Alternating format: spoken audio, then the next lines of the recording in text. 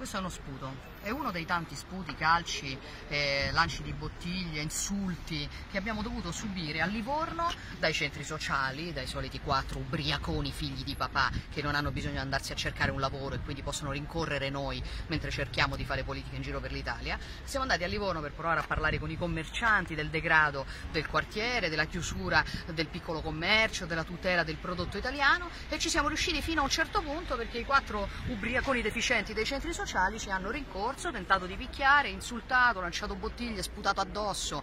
Questa è l'Italia in mano alla sinistra, l'Italia dei due pesi e due, delle due misure. Nel primo lancio d'agenzia che è uscito su questa vicenda si dice contestata la Meloni.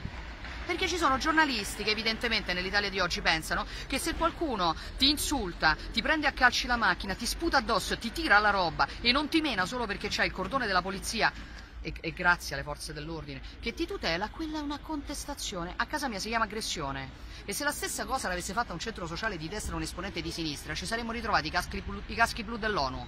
Invece, siccome sono io a essere contestata, a essere insultata, a essere aggredita, allora questo si può fare perché la Meloni è di destra e quelli di destra non devono parlare. Non è la mia Italia. La mia Italia, nella mia Italia, le persone possono dire quello che pensano nella mia Italia, gente che ha bisogno di aggredirti per quello in cui credi è gente che non ha niente da dire. E la verità di questi quattro scemi dei centri sociali è che loro hanno bisogno di farci stare zitti, perché sennò devono dire che hanno sostenuto governi che facevano gli interessi delle banche contro i poveri, degli immigrati contro gli italiani, delle multinazionali contro il piccolo commercio. 4 marzo, bisogna decidere da che parte si sta.